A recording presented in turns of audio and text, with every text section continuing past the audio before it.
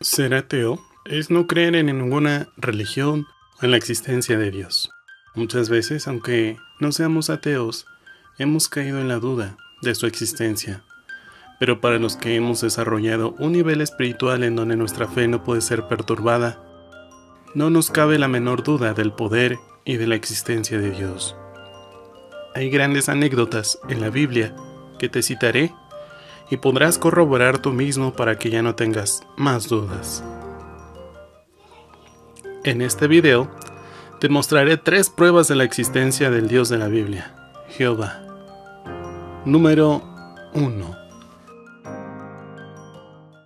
¿Alguna vez te has preguntado quién le puso el nombre a los animales? Ya sean terrestres, marinos o aéreos. Pues el gran autor de esto es nada más y nada menos que Adán, el primer ser humano que Dios creó a su imagen y semejanza. Génesis 2.19 Formó pues Jehová Dios de la tierra toda bestia del campo y toda ave de los cielos y trájolos a Adán para que viese cómo los había de llamar y todo lo que Adán llamó a los animales vivientes, ese es su nombre. Número 2 El nombre actual de su nación es el que se menciona en la Biblia, Israel. Génesis 32, versículos del 26 al 28. Déjame, que raya el alba. Y él dijo, no te dejaré si no me bendices. Y él le dijo, ¿cuál es tu nombre? Y él respondió, Jacob. No se dirá más tu nombre Jacob, sino Israel, porque has peleado con Dios y con los hombres y has vencido. Número 3.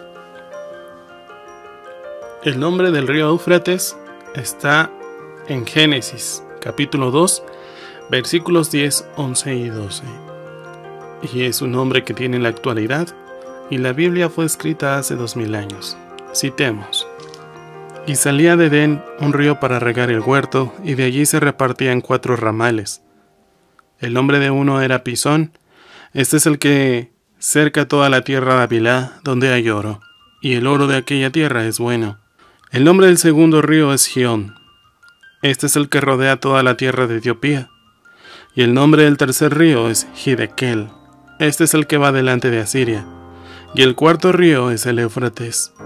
Así que no tengas más duda de la existencia de Dios y cree. Esto fue la estación del entretenimiento.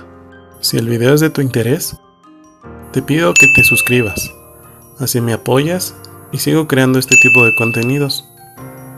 Además, así no te perderás mis próximos videos.